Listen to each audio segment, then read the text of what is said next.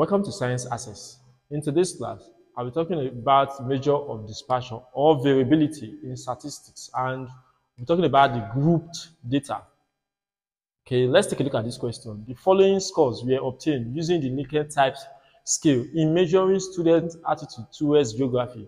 The scores are actually displayed on the board. Draw a frequency table using a class interval of 5. Determine the range, variance, and standard deviation. Now, the first thing that you do is to draw the frequency table using a class size or class width of 5. As usual, how do you draw a class width? You will actually take a look at the value. You can't just start drawing arbitrarily. You take a look at the values. Then take a look at the lowest number and the highest number. So let's take a look at this table.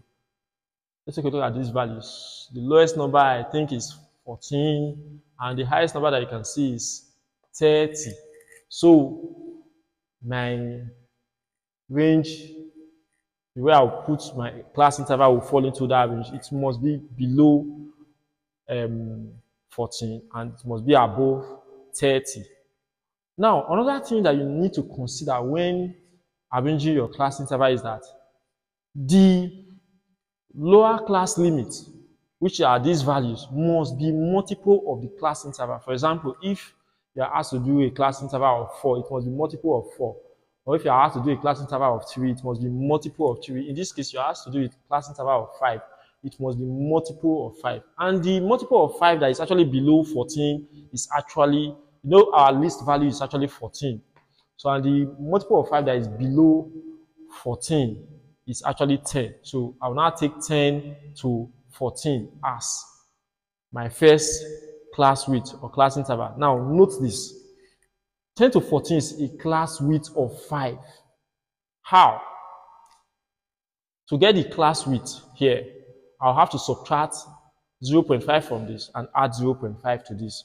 So here will become 9.5 and here will become 14.5. 14.5 minus 9.5, you have your 5 that is the class width or class size. So this is how you do it. Now, I'll now put 10 to 14, 15 to 19, 20 to 24, 25 to 29, 30 to 34. Note that the lower class limit here are all multiples of the class width or class interval. All right. So 10, 15, 20, 25, 30. They are multiples of the 5 of or 5. Now, after doing that, you now have to count the numbers that fall within this range 10 to 14. How many numbers do we have that fall within this, this range 10 to 14? So you have to look through this. Have to look through this. You have one, have two. So we now have two as the frequency in this case. Numbers are within 15 to 19. Let's quickly take a look at this. You have, this one is within 15 to 19, 2, 3, 4, 5, 6, 7, 8, 9, 10, 11, 12, 13, 14, 15, 16, 17,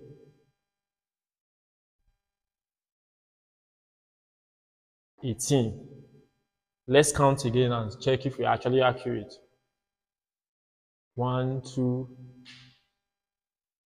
3, 4, 5, 6, 7, 8, 9, 10, 11, 12, 13, 14, 15, 16 and this is 17 so it's actually 17 so the right answer is 17 so you do the same for 20 to 24 you count the numbers that are within uh, from 20 to 24 you count the number that is there and you get 12 count the number that is between 25 to 29 you get 7 and you count the number that is between 30 and 34 you get 3 now after doing that you, you have to calculate for the midpoint. The midpoint is you simply add these two numbers together and divide it by 2 so if I add these two together, I'll have 22. Sorry, I'll have 24. 24 divided by 2, I'll have 12. add these two together, you have 34. 34 divided by 2, you have 17. All right, so you do the same for all. Now, after getting that, you now look for, remember, the midpoint is actually x. So you now look for f of x. What is f of x? It's simply use, using the frequency to multiply the x. So use this times this, you have 24. This 17 times 17, you have 289. 12 times 22, you have 264. So you just do that.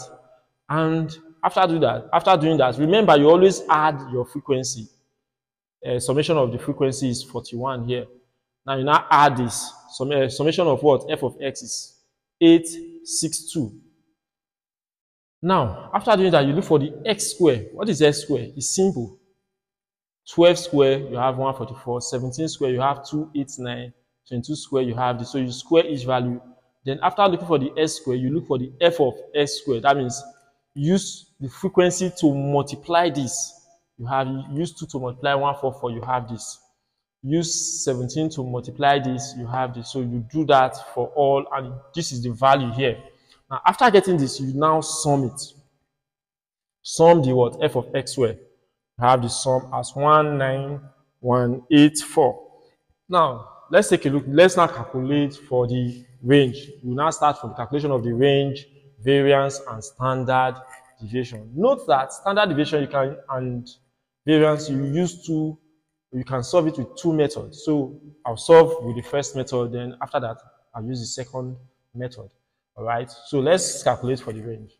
So the range is actually the highest value minus the lowest value. So we know that the the highest value is actually 30 and the lowest value is 14. So 30 minus 14 we have 16. Now the variance, the first formula that we use to calculate the variance here is f of x square, summation of f of x square all over summation of f minus, this one is the same thing as the mean, so you can just decide to square the mean, minus f of x all over a summation of what f. Remember, this formula is the same thing as the mean. Mean is, this formula is for the mean, so you can just decide to put your mean value here and square it, all right? So Let's check the value for the summation of f of x square. What is the value for sum of fx square? You can see it here, 19184. So that's what we have here. We have here 19184. Summation of f, or the frequency, you can see it here, which is 41. This is 41 minus, remember, this is the same thing as the mean, the mean. So I can just decide, I've calculated the mean before and it's actually 21. I can decide to just um, square 21, but let me just put the value. So we have this is summation of f of x, which is 862. This is what we have here, 862. Then all over sum of frequencies. This and this are the same thing, which is also 41. So if you use 41 to divide this, you have 467.9. And if you use this to divide it, you have approximately 21. Note that there is square here, please. All right. So if I square this value, I'll have 441.84. And if I subtract this from this, i have 26. All right, approximately 26. So this is the value for the variance. All right. Now, how do we get the standard deviation? Standard deviation is simply the square root of variance. Square root of variance. So that's what I wrote here, the square root of variance. And what is the variance? Is 26.06. So square root of 26.06. And our answer for standard deviation is 5.1. So let's try the second method of solving standard deviation and variance. So the same question, let's use the second method to solve um, the variance and standard deviation. Now, you already know how we got the class interval. You know how we got the frequency from the previous table. The midpoint I have explained before. The f of s, which is x times f, we have explained before. Now, in this method, once you get the f of x, the first thing that you do is you now calculate for your mean. You calculate for your mean, which is the mean formula which I, I did in this little box. Formula for me is sigma f of x all over sigma f, which is this, the sum of this, all over the sum of this. So now I have 8, uh, 62 all over 41. Our final answer is 21. So note that the value for the mean, in this case, mean, mean value, this symbol is what? 21. All right? Now, once you get the mean, remember, this is x minus x bar. Now, x bar is the mean. So you just decide to, our x here is 12. 12 minus 21, you have minus 9. Second x here, 17 minus 21, you have minus 4. 22, which is the x here, minus 21, you have 1. Here, x is 27 minus 21, you have 6. Here, 32 minus 21, you have 11. Now, once you get this, you have gotten the answer. Just square it. What you have here, square it. So, minus 9 times minus 9, you have 81. Square this, you have 16. Square this, you have 1. Square this, you have 36. Square this, you have 1, 2, 1. After squaring it, the next thing that you need to do is simple. Use the frequency to multiply it. F bracket uh, the all over this. So you use F to multiply this. This is this. So you just use F to multiply it. So you now have 2 times 81. That's the answer. 17 times 16. That's the answer. 12, which is the frequency, times this. That's the answer. So you do that. After that, you now sum everything. Once you get that, you have gotten your answer. The next thing that you need to do is simple. Apply the formula. Now let's take Let's take a look at the standard deviation. This second method, this is the method for calculating the variance, is the sum. Look at this. The sum of this, sum of f bracket x minus x bar square. So the sum of this all over sum of frequency. So the sum of this, we already have it here, 1061. We put the value here.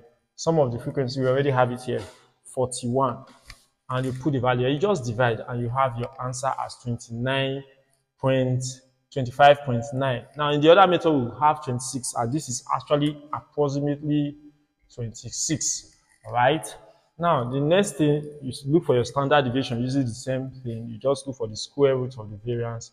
You square the value here, and you have your 5.9 approximately, approximately 5.1. So that is the simple method. You can decide to change the class interval to 3 or the class width to 3 and solve for the standard deviation as well as the variance and range.